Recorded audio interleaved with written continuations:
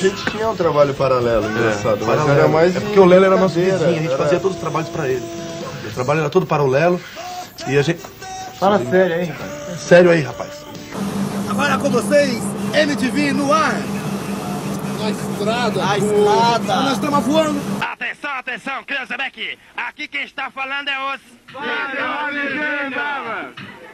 É os.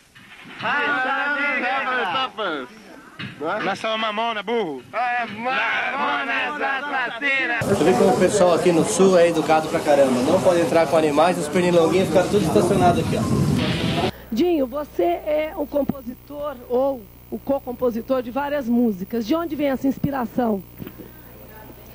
Vem do cotidiano, a música ela, ela surge muito naturalmente, ela flui na gente. É uma coisa que vem de dentro pra fora, é como um peido, a gente simplesmente não segura e solta isso naturalmente. Ótimo. A inspiração é deste mundo ou do outro mundo? A inspiração é deste imundo. Fala sério aí pra gente. Sério, aí pra gente.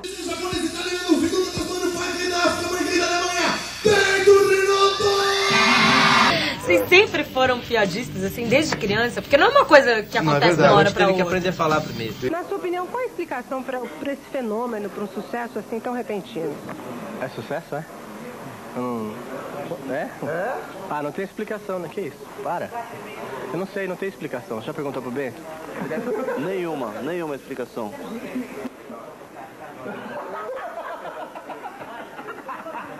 Obrigado nada, 100 reais. Porque ah, é muito difícil, são cinco pessoas diferentes que veio cada um de um lugar, cada um tem educação, uns nem tem.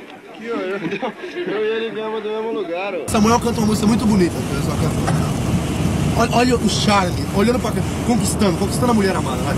Amanheci sozinho, na cama um vazio, meu coração se foi. Muita confusão aqui pra entregar o quarto, o quinto, o sexto.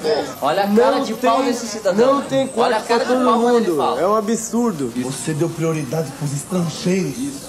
Quando nós, brasileiros, cansados de tanto trabalhar, estamos aqui. Viajamos a noite inteira. Precisamos de apenas um. Um quarto para dormir e repousar nossos esqueletos cansados de tanto trabalho.